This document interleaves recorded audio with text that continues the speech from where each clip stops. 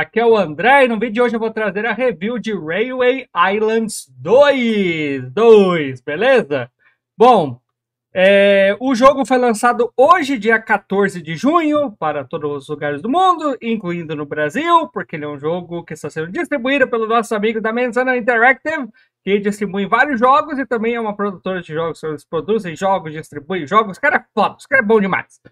Mas, uh, como eu falei nas primeiras impressões, eu fiquei muito grato em receber a oportunidade de testar esse jogo, porque eu joguei e eu fiz conteúdo sobre o primeiro jogo da série no canal, o Railway Islands 1, sem código, sem nada, só porque eu gosto do estilo de jogo e fiquei muito feliz de receber o jogo para cobrir o segundo jogo da franquia, que eu nem imaginei que iria acontecer, olha que bacana.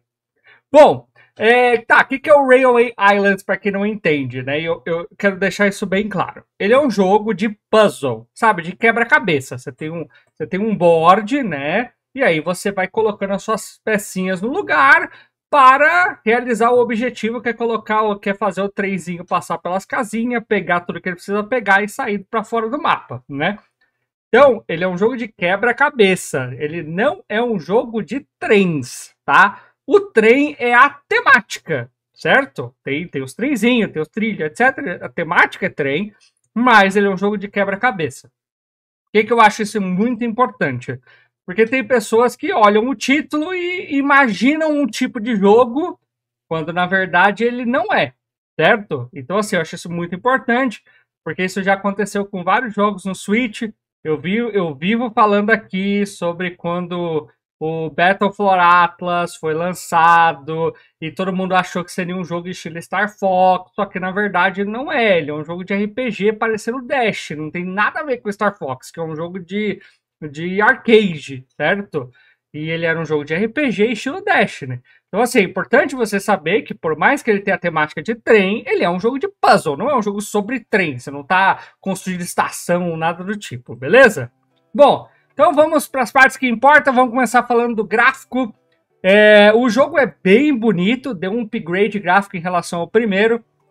Eu dei, dei uma revisitada no primeiro para poder comparar e realmente o jogo está mais bonito, está mais bem detalhado. Então, graficamente falando, eu gosto bastante, tá? Eu acho ele bem bonitinho, bem, de, é, bem detalhadinho. Eu gosto desses jogos indies, assim, que tem um pouquinho de carinho ali no, no mapa, na construção e etc. Então, o jogo tá bem fofinho, sabe? Joguinho fofinho. Uh, bom, ele não tem história, então vamos, vamos pular a parte da história, porque não tem história. Vamos falar de jogabilidade, gameplay, como é que se joga? Bom, que nem eu falei, ele é um jogo de puzzle, né? Você tem que encaixar os trilhos no mapa para fazer que o trem cumpra todos os seus objetivos, que é pegar passageiro ou cargo. O trem vermelho pega cargo, o trem azul só pega passageiro. Então você tem que olhar isso quando você está é, é, realizando as suas missões dentro do mapa, né? Então, tipo, ah, o azul só pode, só pode pegar passageiro, porque não tem de passageiros, e o vermelho só pega carga, porque não tem de carga. Então você tem que prestar atenção nisso. É, além disso, você tem, tipo, switches com triggers, ou seja, você pode selecionar para onde o trem vai. Existem dois tipos de switch, um com, é, vamos dizer assim, um relacionado a um objetivo e o outro relacionado a passar por ele. Então, o que, o que só tá que não tem nada, quando você passa por cima dele, automaticamente ele muda a direção do switch, né? Então, ele muda o lado. O que tem um trigger, você tem que realizar esse objetivo, ou você tem que passar no que ele está conectado e pegar aquele, aquilo que ele está conectado para que esse trilho mude de direção, beleza? Então assim, você tem esses dois tipos de trilho. O jogo ele tem altura, então você tem rampas, tem pontes, você passa trem por cima do, de baixo e por, por meio e de ponta cabeça, bem da hora. Ah, eu, eu adoro fase com, com ponte e, e, e, ponte e ponte. Eu gosto de ponte, beleza? Eu gosto de ponte. Uh, mas enfim, ah, então, assim, basicamente é, é, isso, assim, tipo, de gameplay é basicamente isso que você tem que saber. Você tem que encaixar as peças no lugar certo e o seu trenzinho tem que realizar todos os seus objetivos antes de chegar no final. Existem dois tipos de trem. né? O, o azul, que ele só pega passageiro, o vermelho, que só pega carga, né? E, e você tem esses. É, você tem o, o trilho que vai para duas direções diferentes, às vezes até três. E esse, e esse trilho, ele funciona de duas maneiras. Tem um que se movimenta quando você passa por cima, e tem o outro que tem uma condição para ele se movimentar, beleza? É... Então, basicamente, a gameplay é isso, tá? Ah, o jogo, ele não é extremamente difícil até o level, tipo, 25... Aí do 25 pro, pro 40, o 40 é o último level, ele realmente começa a ficar bem mais complexo né? Porque assim, não é que é difícil você completar o trilho, né? Porque assim, o trilho ele só tem um jeito de ser completado na maior parte das fases. acho que tem uma ou duas só que dá para você fazer de maneiras diferentes, tá? É, mas assim, de maneira geral, beleza? É, o trilho ele basicamente ele só tem um jeito de, de, de ser encaixado. O que começa a ficar complicado depois de um determinado level é essa quantidade de bifurcação que você tem que começar a ficar pensando, tá?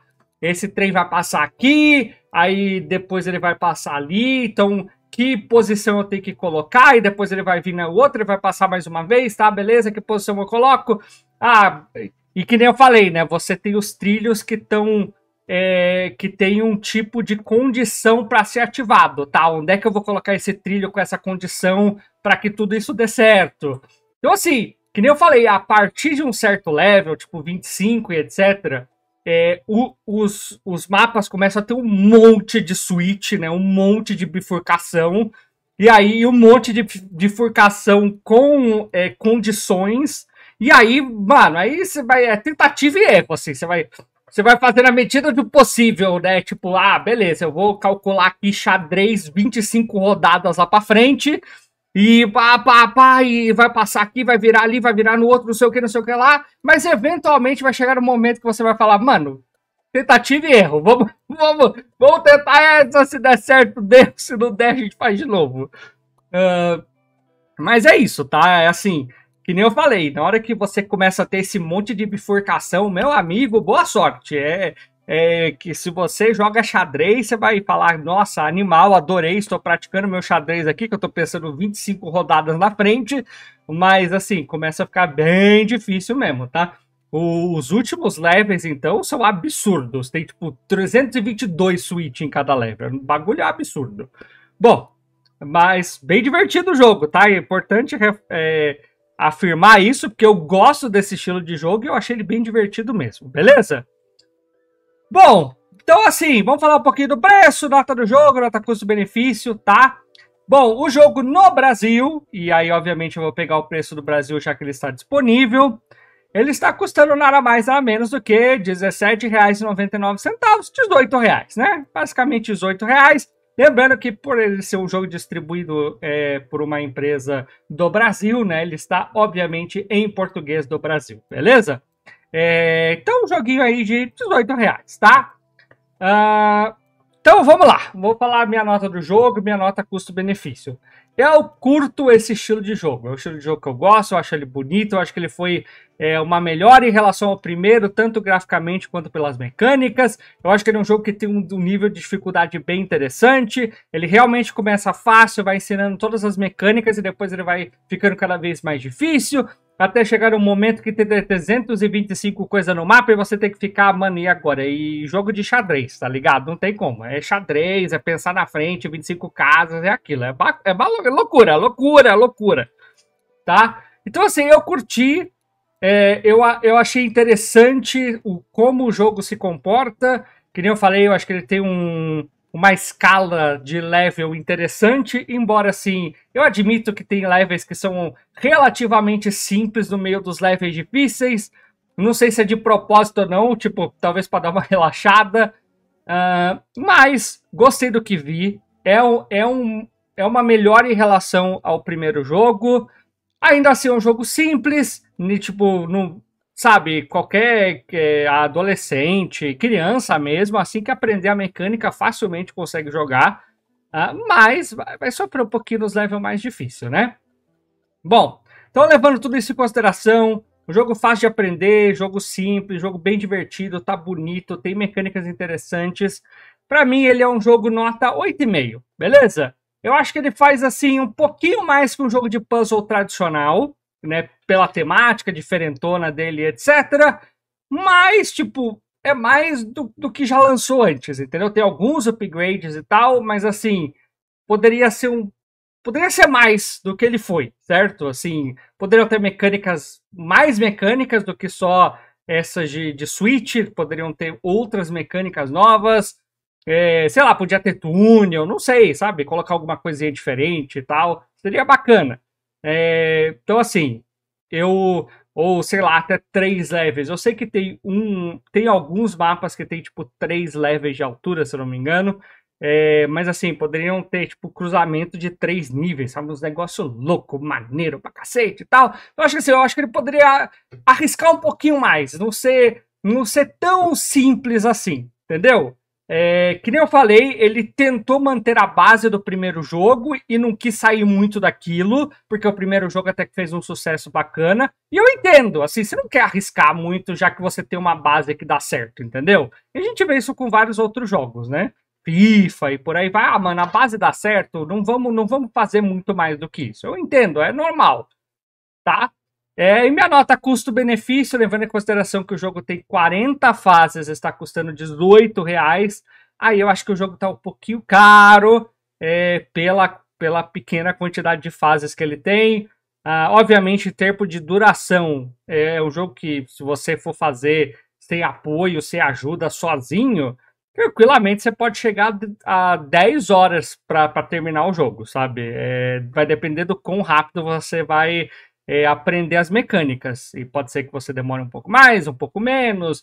É, o quão bom você é no xadrez. Você é muito bom no xadrez, provavelmente você vai acabar em uma hora e meia, né? Mas assim, eu, eu sou burrão, né? Então eu demorei umas sete horas para terminar. Bom, minha nota custo-benefício, que nem eu falei, eu acho que o jogo tá um pouquinho caro.